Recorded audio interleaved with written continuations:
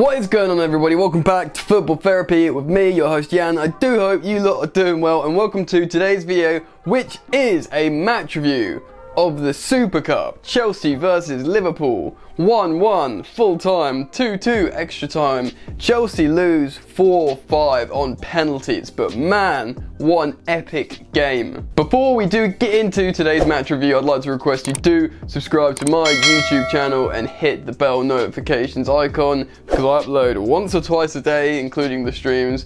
Uh, and also if you could like this video, that would help me out. Right then, before this game kicked off, Perhaps yesterday, the day before, no one would have given Chelsea a chance against the champions of Europe, Liverpool. Obviously, Jurgen Klopp's project at Liverpool is years into its tenure. He's had huge investments. They're a very, very good team. He's a very good coach. Um, and Chelsea are in the opposite side of the spectrum Transfer ban, lost their best player, new youngest coach in the Premier League, inexperienced. And the most salient point here probably is how Liverpool came off a really easy game at Anfield against newly promoted team Norwich, where they won 4 1. And Chelsea came off a 4 0 drubbing, where they had to travel up to Old Trafford in the Midlands. But on top of that, Liverpool had a whole extra two days rest. So, all things considered, you can say Liverpool were heavy, heavy favourites. But the game didn't pan out how people thought it would. It was an incredible contest. Lampard rallied the boys, Kante came back in, he switched up the formation a little bit, and it was an explosive game and an explosive performance from Chelsea. Really dominant at times. So, how did Frank Lampard line up as Chelsea? It is interesting, so let's bring up the analysis page. Rather surprisingly, Frank Lampard showed his flexibility yet again and caught everyone out by playing Sarri's 4-3-3 against Liverpool. Uh, and yes, Kante was on the right and Jorginho was at the base of the midfield. So, as you can see next to me, it was how Chelsea lined up in and out of possession. 4-3-3 in possession, 4-5-1 out of possession.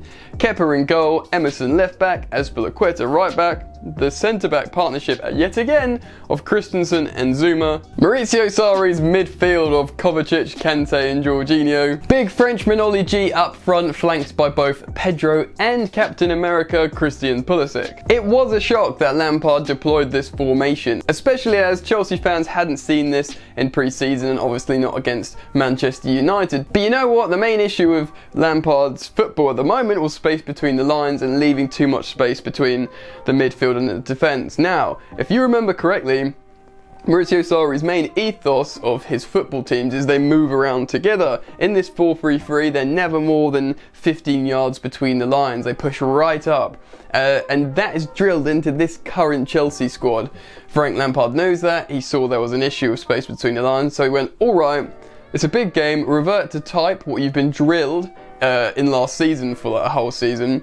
And I'm going to give you a few extra sort of tweaks, more licenses to like go forward, this, that, and the other. And hey, it worked because I guess it's the sort of muscle memory of how they played under Maurizio Sarri and they passed incredibly well under Sarri and did keep compact. So, smart from old lamps. And like I said, it was less rigid than Sarri's system. Basically, less tight guidelines than I guess what Maurizio would have told his players. Like I said, it was 1-1 in full time, 2-2 extra time, and Chelsea lost out by one goal on penalties. I suppose we'll talk about that a little bit more in a second, but these players are on the pitch now, on the formations graphic, I want to talk about their player performances. Starting with Kepa in goal. Inspired, man. Superb performance from Kepa. Really showing why he's an elite quality keeper. We know he's superb with his feet, great at passing, great at passing out of pressure, but that double save that he made that everyone was tweeting about on Twitter personifies how superb of a shot stopper he is and why he's Spain's number one. As Azpilicueta, after his poor, poor performance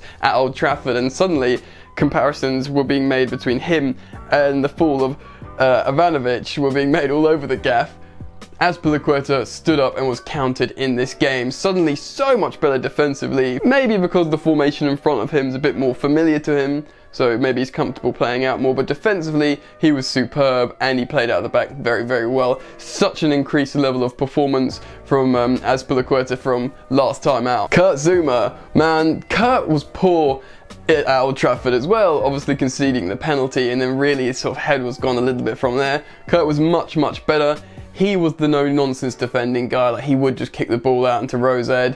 Um, never switched off. You know what? Then team never switched off. But yeah, aggressive. He was good in both boxes, and yeah, he was the no nonsense guy, and therefore he had a really good performance. Christensen next to him. Now I've often critiqued Christensen for not being basically physical enough. Stuff perhaps because he's more of a slight defender, but his positional awareness is very, very good in the way he, he always occupied the right space. He's a very intelligent defender, um, and he demonstrated that today. in a very good performance positionally, and basically, like the rest of the team, didn't drop his attention and had a very, very good game. Right, my boy Emerson, man. He was superb in this game.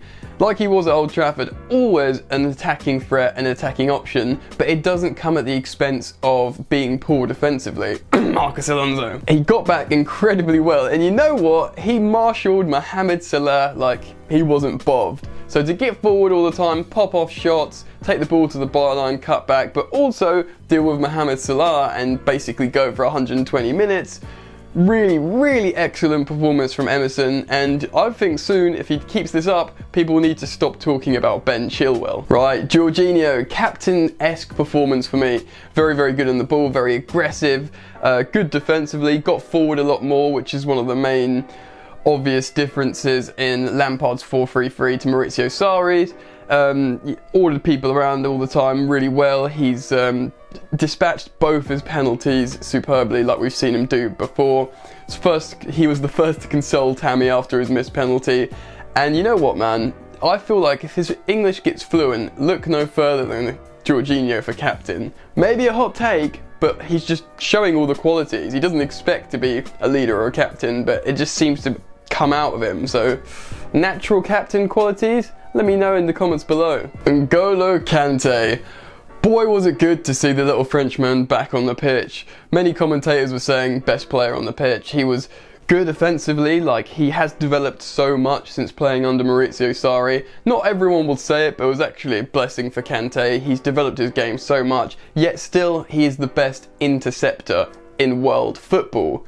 He demonstrated that today. Some amazing tackles, turning over possession. But yeah, he was getting forward and he was and he was advancing into the box, and it was just superb from the Frenchman. Kovacic, very technical and a superb ball carrier, like I'm always saying. Really good ball progressor. Um, maybe not the brightest spark of the midfield, but he certainly played very, very well. A couple of instances where he sort of ran into the box, Frank Lampard style, um, so yeah, he's making the right movements. One of the chances he nearly, nearly scored when Adrian came out. Maybe could have done slightly better in terms of getting on the ball quicker or moving the ball, but a very solid performance from Mateo Kovacic. Olivier Giroud took his goal fantastically. We know what we're getting with Giroud. He's a really, really top class finisher and he's incredibly physical and, you know, gives it, leaves it all on the pitch. And even if he can't run fast or press and in a team that maybe wants to press, that's okay because he's such a useful tool and he scores the goal like he does he always scores the goal when he needs to. He, he was the king of the Europa League last season, and it just basically was had to happen. Him scoring in this game, superb from Olivier Giroud. Right, Pedro. Like Azpilicueta, maybe a bit Zouma, he was really poor at Old Trafford at times. But you know what? Pedro in this game was a man possessed. This guy's 32 now. He ran around for 120 minutes plus he was so, so good. He was making the right decisions. He was constantly pressing, running in behind, combining well. Maybe if players around him up their game a little bit, Chelsea would have converted some more goals, but he was so good, Pedro. Uh, really good on the ball, he never wasted possession. Obviously, Liverpool deploy the Gegenpress, so he's always under heavy, heavy pressure, but he just played the ball out. Whether he was scampering around on the floor after falling over, he got the ball out of his feet to a Chelsea teammate. Pedro was insanely good. And for last, I may have saved my favourite. Obviously, Christian Pulisic got an amazing assist, but he was just electric, man. it's nice to, and Frank keeps reiterating, he's he puts him in the same bracket as Mason Mount and, you know, all the other youngsters because he's only 20. And fair enough, he is only 20. But he has got a wealth of experience and he's the big money signing. And boy, does he look quality. In that first half, Twitter was exploding like, oh god, well, it looks like Pulisic is a really, really good player. Um, really, really threatening offensively. Obviously got the assist and had that goal ruled for offside. That was a close call, but what a goal it was! What a finish! It would have been the goal of the game easily. Um, superb performance by Christian Pulisic and hugely positive for Chelsea Football Club. So at the end of that half from the Olivier Giroud goal, Chelsea are 1 0 up, probably should be 2 or 3 0 up. Well, maybe 2 0 up in terms of the amount of pressure and dominance they had over Liverpool, the clear chances they were getting, but it was only 1 0 and the first half ended. And the first half ended. Right, I'm going to switch the graphic to the second half ending formation and the personnel that was on the pitch. Yeah, so the second half starts and Mane scores almost immediately, uh, levelling it up to 1-1. Chelsea actually endure a really difficult spell of Liverpool pressure there. It looked like Liverpool might score again immediately and then, you know, maybe Chelsea's heads would drop, kind of like Old Trafford, or attention would drop after playing so well in the first half. But no, they conceded the equaliser and then Chelsea got back into the game and started putting the pressure on Liverpool again, playing up the other side of the pitch. Trust me, Liverpool were unsettled throughout this game. They went full strength they went maximum effort. They wanted to win this game, and you can see that on all of them and Klopp at the end. But the truth is, they couldn't live with Chelsea at times. So late in the game, Frank Lampard switches formation back to his preferred 4-2-3-1 and brings on Tammy Abraham and Mason Mount at the expense of Christian Pulisic and Olivier Giroud, which you can see in the graphic next to me. I don't think Mason Mount played as well as he could have been at Old Trafford, but in the Super Cup final when he came on, he was sublime. He was running down that flank and he was roasting whoever he was coming up against. When Trent Alexander-Arnold came on and he was super fresh legs, Mount was absolutely having him on toast. In fact, he went past Alexander-Arnold so easily at one point, he just had to be pulled down and Trent got an immediate yellow after not being on the pitch for very long. Mason Mount also scored what would have been an absolutely excellent goal but it was ruled offside, rather frustratingly like the Christian Pulisic goal. Really good for Mason when he came on, and when the shootout came, he took an excellent penalty as well.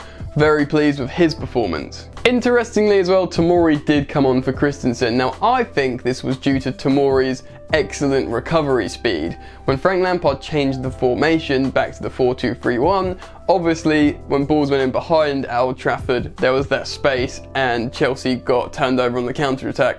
I think he made this change deliberately because of that issue. With Tomori playing as a centre back with the best recovery speed out of all Chelsea centre backs, that kind of made sense to sort of add a little bit of a safety blanket for that potential occurrence. Ross Barkley also came on in extra time for some fresh legs and he was very good. Uh, very good on the ball, very high octane, high press, again rattled Liverpool. A shame we couldn't score from his presence because he did look like he could have done something when he came on. So Mane did take the lead early in extra time, but Chelsea heads didn't drop. They kept playing, they kept pressing well, and Tammy Abraham won a penalty in the 100th minute. Now, it looked incredibly soft. Uh, the angles were very difficult to see. VAR did look at it and didn't overturn it. I think because it's got to be a clear and obvious error. Um, so it wasn't clear and obvious. It might be soft, but he won the penalty and Jorginho stepped up and converted it in the hop, skip and the jump way that he does. So 2-2 extra time ends and boy what an epic game this has been. The neutral, I mean spectators love it, obviously Liverpool fans eventually would love it. Agonising at time for Chelsea at the end but what a game for everyone and the neutral. So it goes to penalties, Liverpool convert all five of theirs even though agonisingly Kepa gets down and gets a hand to two of them and so close to saving them which would have been great saves and then it comes down to the fifth and last penalty for Chelsea which Tammy Abraham, think the pressure gets to him he hits a tame penalty and it's saved. But it's no point really judging the kid on that. He did a few good things in the game. Anyone can miss a penalty, so don't hate on Tammy Abraham. Alright, that's enough of the analysis page. What are the main talking points from this game? Well, you know what? I did a video yesterday on the three main reasons why Frank Lampard will be a success at Chelsea. And if you haven't seen it, I suggest you go and see it because this game, this Super Cup final personifies everything I said in that video. Chelsea came out with spirit, they rallied, they show they've got ability, they show they've got talent. This team that are missing big creative players for them like Loftus-Cheek and Hudson-Odoi showed that, you know, even though they're missing their Galactico Eden Hazard, they can go toe to toe with the champions of Europe and often even outplay them. But it wasn't just about the amazing performance from Chelsea Football Club. It was more than that. It was the camaraderie uh, as much as I liked Sarri's footballing philosophy, it's obvious he couldn't create this spirit between manager and squad, manager and fan base.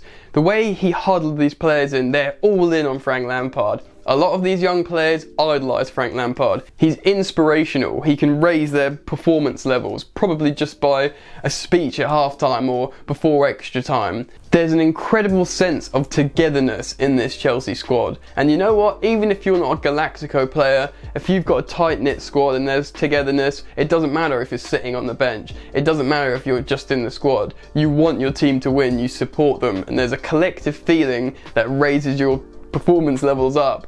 Frank Lampard inspires that in his Chelsea, and he inspires that in the Chelsea fans, and that's why this Chelsea were able to put in such a good performance, and that's why Frank Lampard has proven already that he can go toe to toe with the best so early in his Chelsea project. So guys, that's the end of my match review. I hope you guys have enjoyed it. Sorry for getting a bit profound and poetic at the end there, but really it was that kind of game. Um, yeah, so I hope you enjoyed the video. Please do like the video if you did enjoy it. Subscribe if you are new, and also get down in the comments. Let me know your thoughts on the game. It was an emotional roller coaster, man.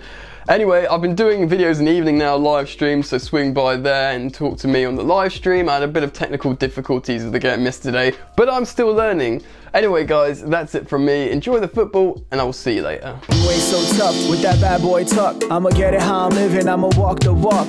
Outline my lines, I rap through thought. Body bag the verse, chalk. In my life, seen trouble, hustle on the double, silence on the trigger like my pick got a muzzle. Yo, chick like to guzzle, bad boy stay in trouble. I only love this paper, sorry I don't. I laugh me, baby.